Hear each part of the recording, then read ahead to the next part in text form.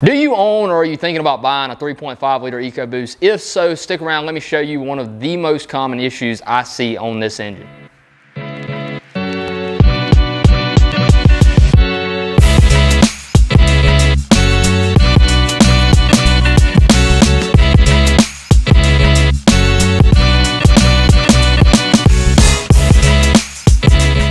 Going on YouTube? Welcome back to the channel. If you're new here, my name is Mayson. I'm a technician here at the Steelership.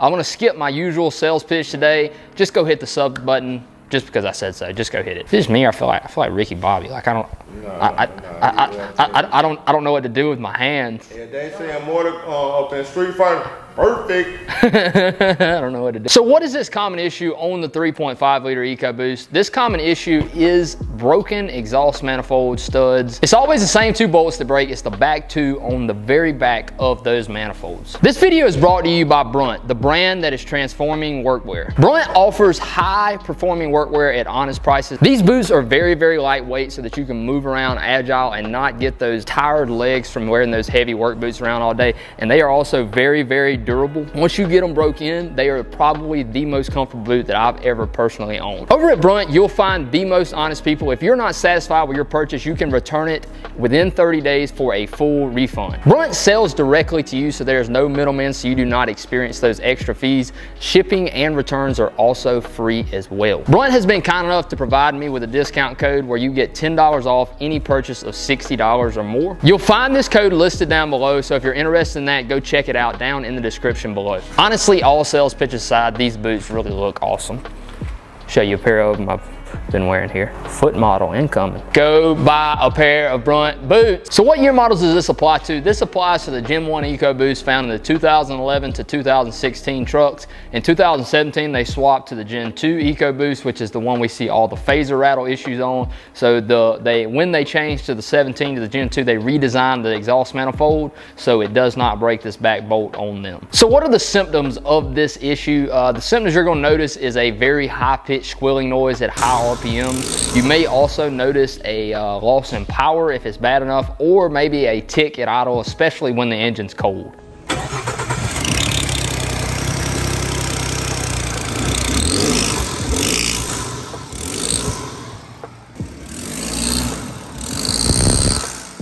One thing I will say that's unique to this 3.5 about the exhaust leak is that that high-pitched squealing noise is actually caused by the amount of pressure the engine's putting out. We need this amount of pressure coming out of that manifold to turn these uh, massive, massive turbos you have on the side. You know, they're, they're really about this big around. Actually, they're, they're real small. They're like this. But that is why that high-pitched squealing noise is so loud on this engine. So these symptoms, uh, they describe your issue to a T. How do you go about ensuring that this is the exact problem that's wrong with your vehicle? Vehicle? Well, it's pretty simple. All you have to do is look at the back side of the exhaust manifold. This is done very easily with a flashlight and a mirror. You can also sometimes see them from the bottom if you remove the cover that you uh, would have to remove if you changed the oil in it. You can look up from the back with a flashlight and see the stud. It's actually kind of hard to see from up top without a mirror because of how it's located behind the turbocharger. I can actually show you that right here on this, uh, on this truck. This one actually has a broken exhaust manifold stud as you can look, it's kind of hard to see when the cab's down on the truck, but uh, here's that broken exhaust manifold stud. I hope there's enough lighting in here to see that. But this is where you would need to look. You could look from the bottom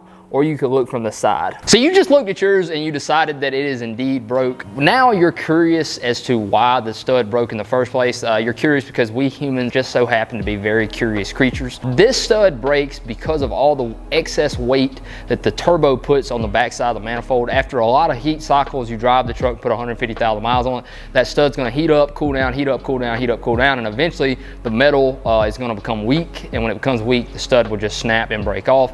Hence is why the pressure pushes the manifold out and causes a leak. All in all, this is a pretty bad design by Ford. I'm not really sure who designed it, but uh, they was not thinking and accounting for the excess weight that that turbo puts on the manifold. Luckily for us, the, uh, the bright engineers at Ford decided that this deserved a redesign. So they redesigned this manifold to have an extra bolt, extra stud in the back. So that is a huge, huge thing. When you are replacing these manifolds, make sure that you are getting the new updated style manifold. Once I install these on the truck, I generally don't see them come back. Actually, I've never seen one come back after installing the revised manifold. So one small tip I do want to throw in here is if you're replacing these exhaust manifolds, when you install the one on the driver's side, there's a heat shield that actually covers up the crank sensor connector that goes into the back of the engine there. When you try to put the new manifold up, it's going to look like it won't fit, but what you actually have to do is you have to get a pry bar and bend the little bracket over where it will actually bend away enough to get the manifold to slide up on the new studs. So when you tackle this exhaust manifold job, what all should you be replacing? So if you watch my other videos about the coolant leaks on the turbo fittings that is produced out of these EcoBoost, almost every one of them before hitting 150,000 miles has had to have them replaced. So there's no way in Sam hell I'm pulling these turbos off to put manifolds on without at least replacing the turbo coolant pipes and the turbo pipe fittings. So a small quick list that I would say to replace when you're doing this, I would replace the exhaust manifolds, all the studs, all the nuts, new exhaust manifold gaskets, also replace turbo gasket, turbo bolts, turbo coolant pipes, turbo coolant fittings, turbo oil pipes, and turbo oil fitting. Turbo oil filter really is what they're called. I will make a list of that down below, hopefully with some part numbers, maybe even some links to where you can purchase some of this stuff. So go check that out down in the description below. So one other small point, uh, a lot of time I'm asked whenever I have a truck like this one come in, uh, the passenger side exhaust manifold stud is broken. It needs a new manifold and a uh, new studs and nuts and basically that whole list of parts I just gave. The question I'm asked a lot is should I go ahead and replace the other side? My answer to that question is real simple.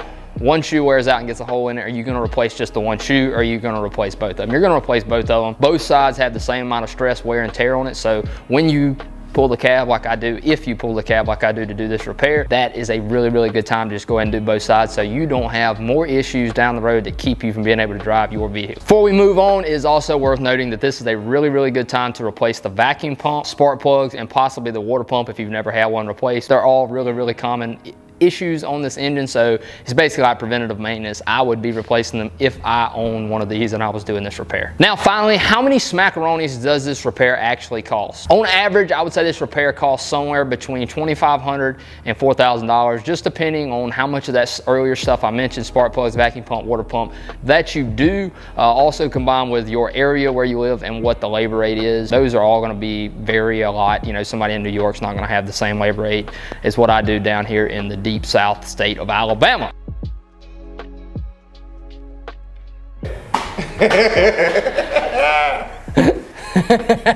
All right, at this point, you are fully educated on everything you need to know about this 3.5 liter EcoBoost exhaust manifold, stud breaking problem, issue, want to be. I, I, don't know, I ran out of words. That felt like a lot. You are educated on it. You know everything you need to know, so you can go in and school your local service writer on information on this. Please don't do actually do that. Just, just be, be nice and professional, courteous. At this point, if you haven't already, I don't know what's wrong with you, please go hit the like button. It really, really helps push the channel out. Also, if you would, uh, leave me a comment down below with maybe some other topics of videos you would like to see, or if you just think I'm a complete moron, tell me that down below. I would love to hear, maybe even uh, respond to some of those uh, mean comments that y'all put. All right, so that's gonna wrap us up for this video. I really appreciate you guys watching, and I will catch y'all in the next one. Peace.